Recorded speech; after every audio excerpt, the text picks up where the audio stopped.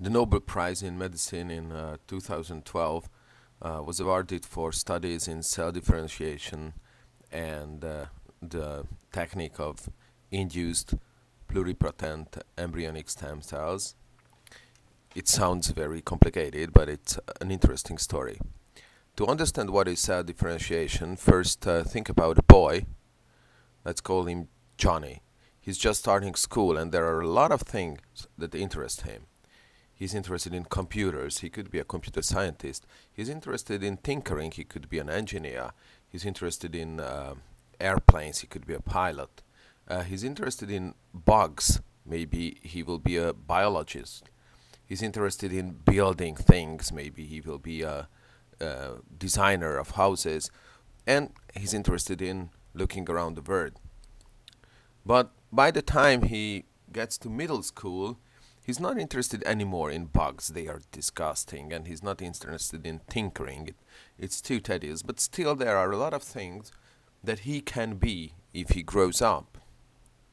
In high school, uh, there are a lot of some things which does not interest him anymore and he's studying a lot of computers and he's studying a lot about airplanes and he's studying a lot about the world.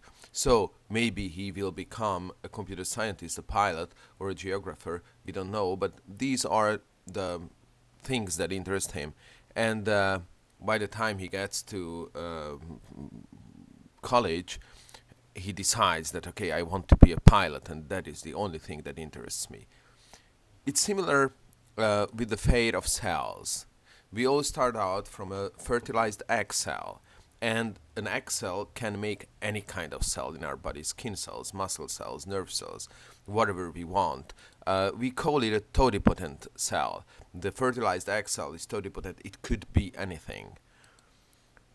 In the embryo, the fate of the cells is a bit more limited. One cell will become nerve cells and muscle cells. Another one will become cells of uh, the intestines and so on. But still, there are a lot of types that they can be. We call them pluripotent. There are a lot of uh, things that they can turn uh, into later.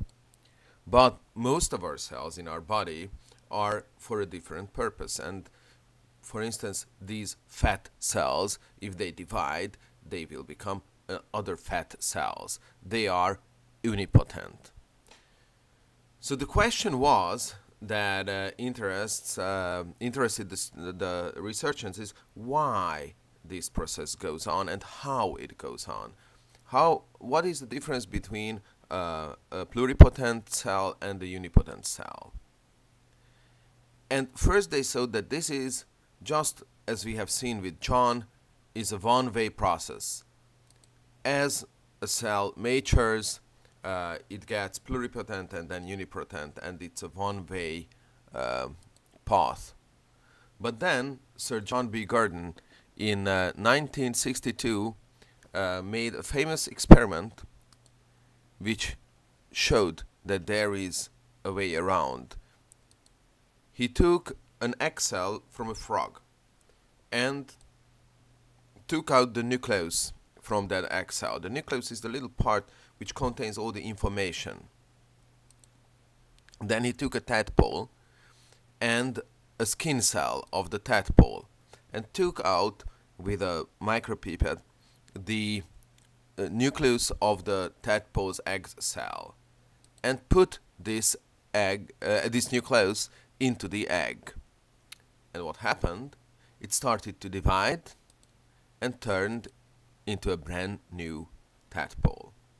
So we could see that whatever the changes are, they are not irreversible. So there is a way back if we want to.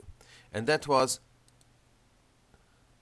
uh, the experiment which earned him a Nobel Prize this year, or at least half of it. And this process was uh, what uh, uh, Shinya Yamanaka, uh, the Japanese scientist, was interested in as well.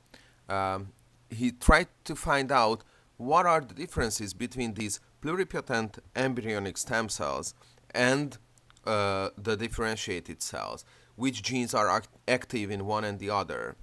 and uh, finally could uh, get down to four genes uh, which define embryonic stem cells. And then took uh, fibrocytes from the connective tissue of mice, these are differentiated unipotent cells, and put into them those four genes to make them active.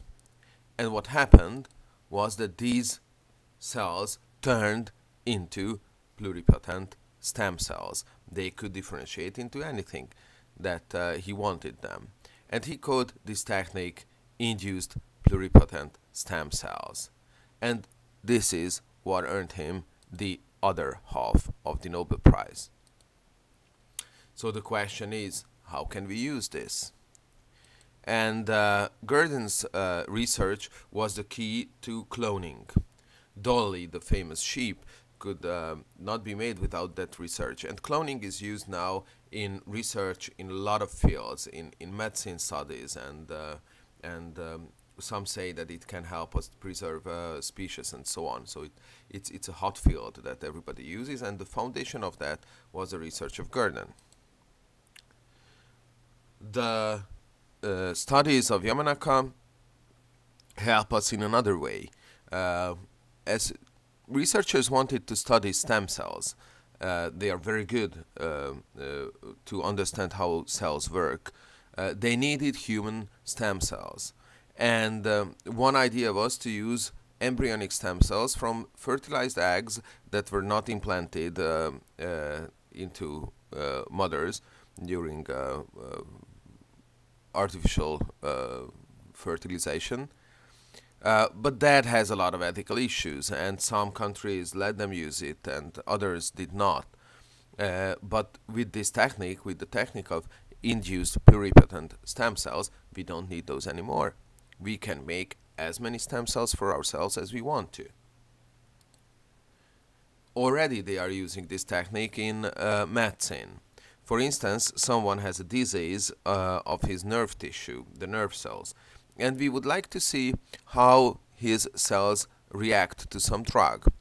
Uh, we cannot take out nerve tissue from the patient, but we can take out some skin cells, first turn them into induced uh, pluripotent stem cells, then differentiate them to nerve cells and check in a petri dish how they react to the drug. Uh, those stem cells that uh, uh, are made in this uh, way are not good to transplant back into the patient because of the four genes that are activated in them, that are put into them.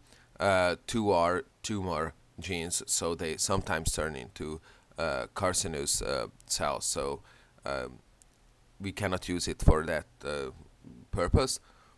But now we have uh, techniques which uh, put in not the, the, genes but the factors that the genes code, and maybe this can help us to uh, use even for that purpose the stem cells made in this way.